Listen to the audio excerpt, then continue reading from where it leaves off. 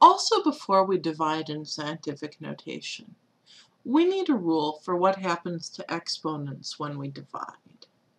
Now remember that previously we had the following rule. For any number b that is not 0, and any integers m and n, well, b to the m times b to the n is b to the m plus n. In other words, in order to multiply exponential expressions with the same base, we just add the exponents. And that was very useful to us in multiplying in scientific notation. Because, for example, 10 to the 25th times 10 to the negative 7th is 10 to the 25 plus negative 7, which is 10 to the 18th.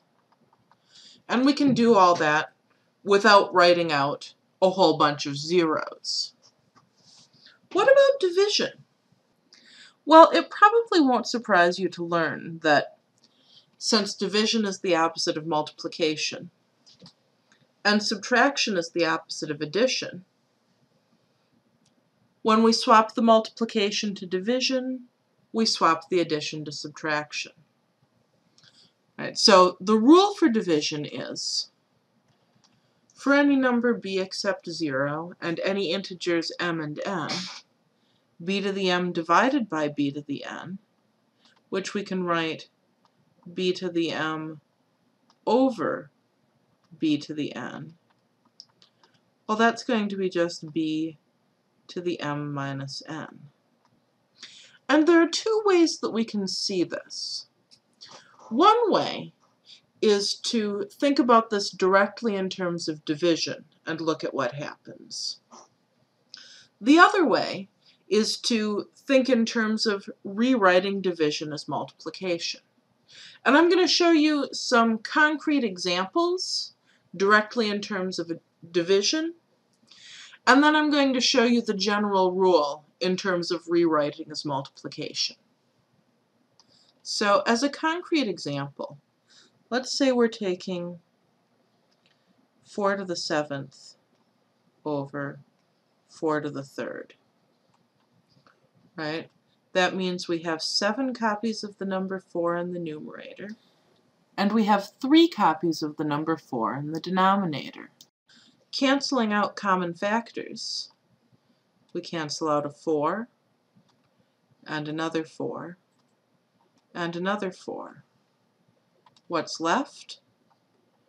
4 to the fourth in the numerator, and just 1 in the denominator.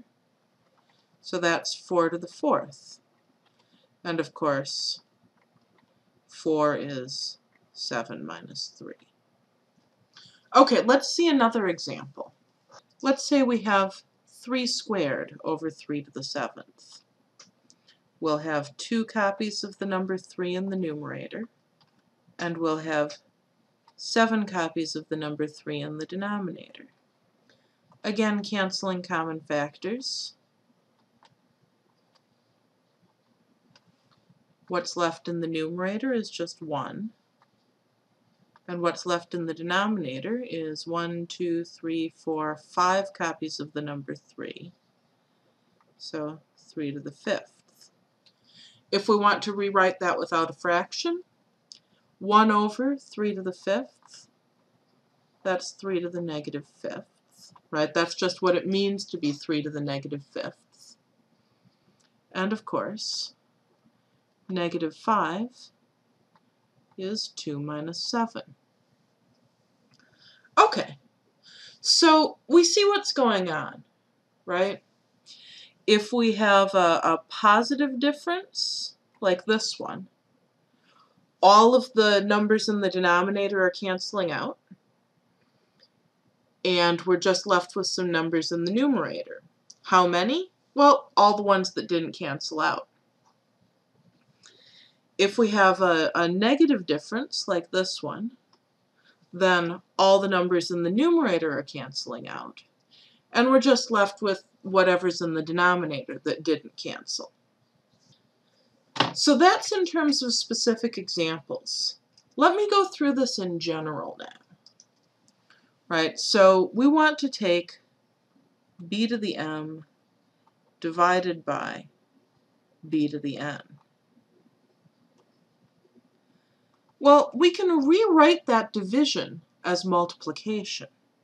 In fact, it's b to the m times, times what? Well, we want the multiplicative inverse of b to the n.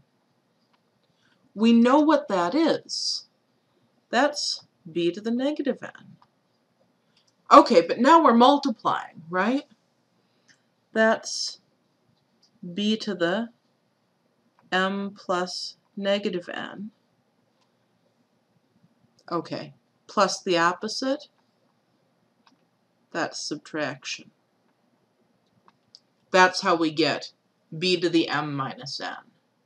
So in terms of concrete examples, we can see the intuition. And in complete generality, it really is that division is the opposite of multiplication and subtraction is the opposite of addition.